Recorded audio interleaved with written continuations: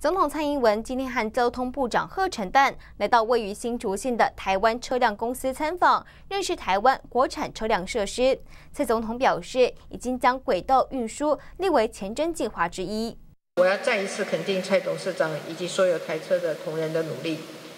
大家的努力绝对不会白费。前瞻基础建设计划的目的，就是要透过政府的支持。引导产业不断、不断、不断的创新成长，让轨道运输的蓬勃来带动周边产业的发展，也带领台湾真正走向更有前瞻性的未来。目前规划中的前瞻基础建设计划，也将轨道运输列为重点项目。总统蔡英文今天在台车董事长蔡黄郎、交通部长贺陈旦以及新竹县长邱敬纯的陪同下，亲自搭乘台车公司打造的电联车。台车董事长蔡黄郎表示，感谢蔡总统对国车国造的重视，希望政府未来在轨道车辆也能给台车公司更多资源。